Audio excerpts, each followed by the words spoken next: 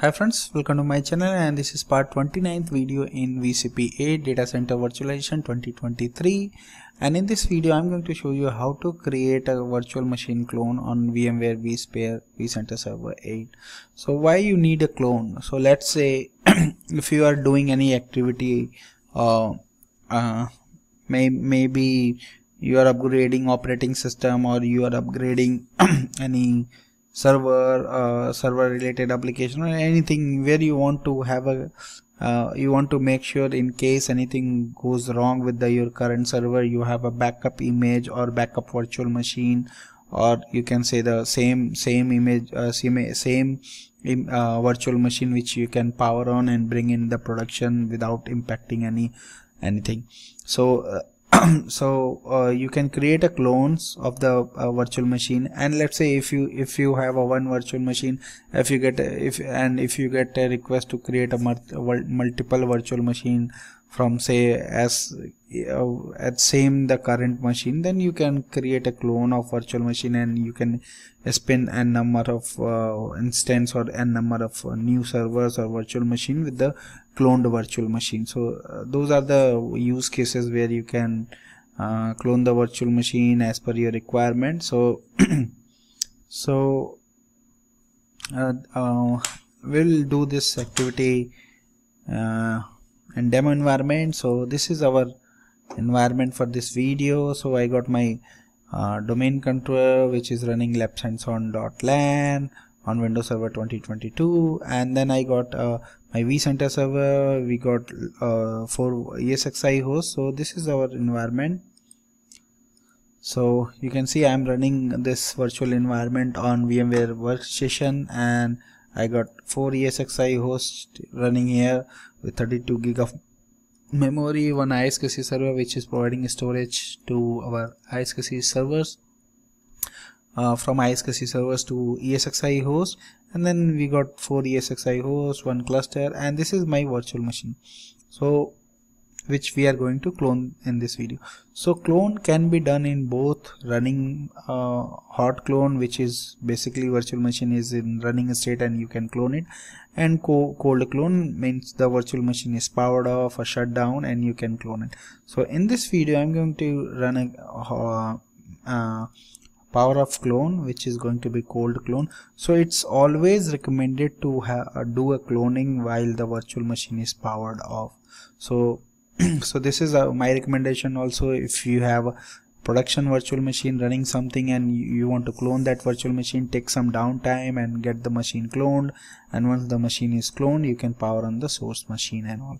So i'm going to clone it. So i'm going to give give the name of this virtual machine. Let's say win2k 19 vm1 underscore let's call it clone.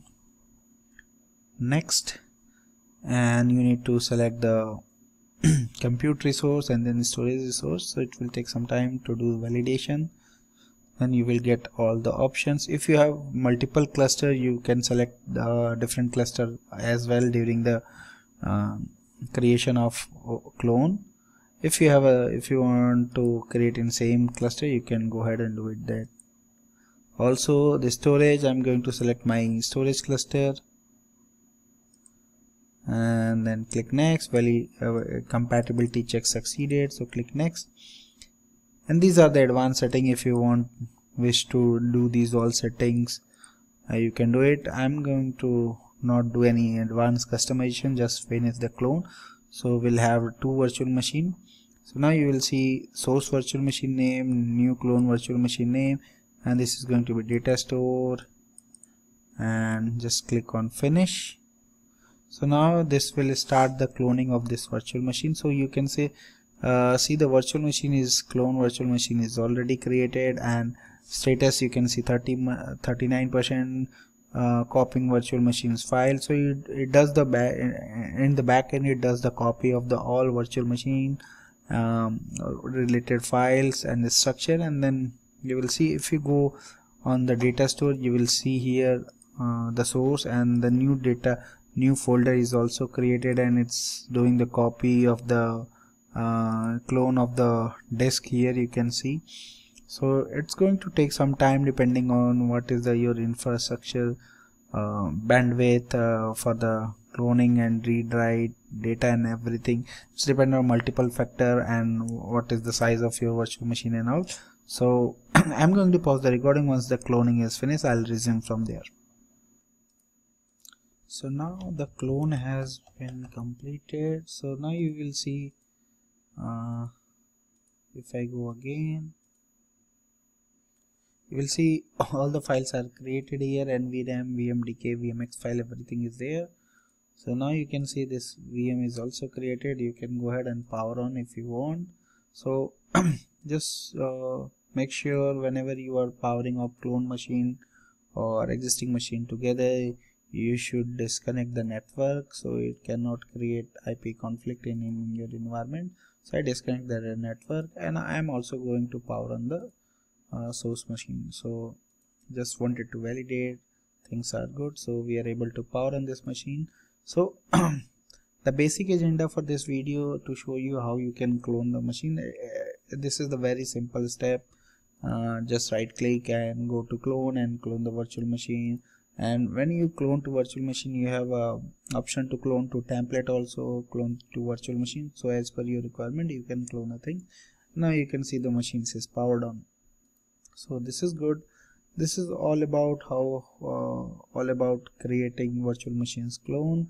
So thank you for watching. Please subscribe me for more videos. And if you have any query any question related to this you can always post me my given mail IDs thank you once again. Bye bye